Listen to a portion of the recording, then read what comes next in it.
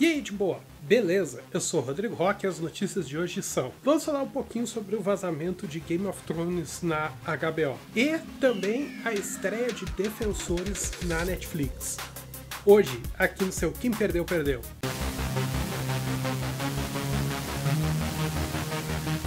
Bem, galera, antes de darmos as notícias, eu sei que você é um de boa, deixa o like logo no início do vídeo, compartilha esse vídeo, deixa o seu comentário e principalmente torne-se um VIP, clica no botão de se inscrever aí e marca a sinetinha para ser notificado sobre novos vídeos. VIPs aqui do canal concorrem a prêmios, então é importante marcar a sinetinha. Mas vamos deixar de enrolação e vamos para as notícias do dia. Galera, eu ia falar na quarta-feira sobre o vazamento HBO, mas como era muito recente ainda, eu queria juntar as informações para ver o que, que, tinha acontecido. E pelo que eu vi, o vazamento foi na plataforma online, que os caras, em vez de lançar lá o quinto episódio, acabaram lançando já o próximo, o sexto, o penúltimo da temporada. E, cara, eu até botei lá no Facebook um comentário falando, pô, tá na hora de a HBO começar a bater o chicote aí nos filiados, né? Porque não é o primeiro vazamento, a gente já teve vazamento lá na Índia da HBO que não lançou, mas vazou partes do episódio. E agora a HBO da Espanha também acaba vazando o episódio. O controle da HBO tá bem perdido, assim, porque a galera não tá conseguindo concentrar para não deixar vazar a informação de Game of Thrones. Eu fui um, um do, uma das pessoas que não assistiu o episódio, sério. Eu falei, eu vou esperar até domingo para ver. Eu, apesar de eu estar ansioso e ter tomado alguns spoilers aviso. Quem me passou spoiler ou botou spoiler no Facebook tomou bloco na hora. Tipo assim, se você é retardado e gosta de dar spoiler pros outros, azar é seu. Mas meu amigo, você não vai ser, com certeza.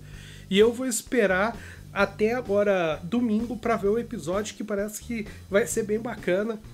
Eu tomei uns spoilers sem querer aí, mas infelizmente faz parte e provavelmente não vou tomar de novo porque, ó, foram umas 40 pessoas que eu dei bloco nas redes sociais por causa disso. Então, se você é realmente amigo e gosta do que eu faço e quer me acompanhar, não passe spoiler. Se passar, vai tomar bloco, com certeza. Mas a HBO aí tem que cuidar agora para as próximas temporadas. Em outubro começa as gravações da próxima temporada de Game of Thrones e eles têm que cuidar aí para não vazar os episódios, porque isso já tá ficando bem chato pro público. É, galera, acabou de estrear Defensores, a série aí que vai unir os heróis da Marvel na Netflix. E, cara, assim, eu tô vendo o primeiro episódio ainda. Se vocês notarem ali, tá na minha barrinha, provavelmente. Eu tô vendo os episódios, vi um pouco do primeiro episódio, assim, e eu gostei do jeito que tá se desenvolvendo, assim, já no primeiro episódio. Que tá mostrando algumas coisas dos heróis, o que que tá acontecendo na vida de cada um, mostrando mais ou menos como é que vai se encaminhar. Pelo que eu entendi, vai rolar todos os sete episódios tentando juntar eles e no oitavo episódio, que é o último da temporada, aí realmente vai formar os defensores pelo que eu entendi dos títulos que eu vi ali. Eu não vi os episódios ainda, mas parece que é isso que vai ocorrer. E cara, é, é, sensacional assim, a Netflix trazer todos esses heróis. Eu quero ver se dentro do Defensores vai ter algumas citações do que aconteceu nos últimos filmes da Marvel aí, o que, que aconteceu no Guerra Civil, o que aconteceu lá na Era de Ultron, se eles vão interligar aí esses universos e se vai acontecer alguma coisa ligada, por exemplo, ao Thor Ragnarok ou alguma coisa desse tipo. Não, Thor Ragnarok eu acho que não, porque é outra dimensão, é muito longe. Mas Guerra Civil eu espero ver alguma coisa nessa série. E claro que junto da série isso aí o trailer já de Justiceiro. E cara, pô, eu não, não tenho muito o que falar, porque para mim a melhor parte do Demolidor na segunda temporada foi a participação do Justiceiro.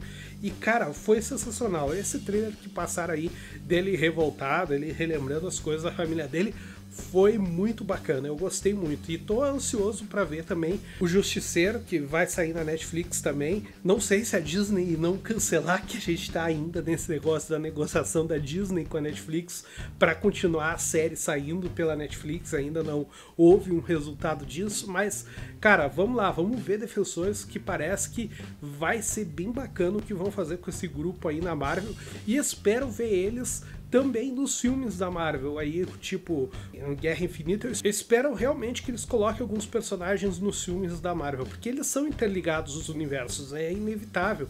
E ter toda a treta que vai ter com Thanos aí e não aparecer nenhum dos personagens vai ser meio estranho, mas vamos esperar para ver. Então, vamos assistir Defensores aí que parece estar bem bacana.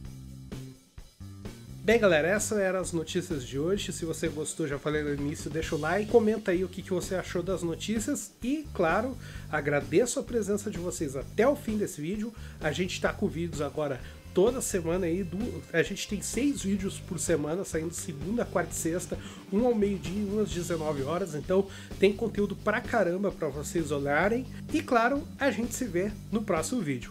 Valeu, galera! Brutality.